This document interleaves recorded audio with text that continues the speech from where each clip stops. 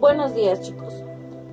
Es importante que nosotros aprendamos a clasificar información por diferentes formas o métodos. Una de esas formas es la línea del tiempo.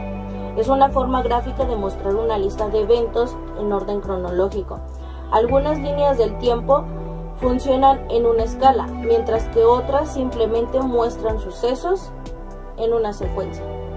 La función principal de la línea del tiempo es comunicar información relacionada con el tiempo, ya sea para su previo análisis o para presentar visualmente una historia.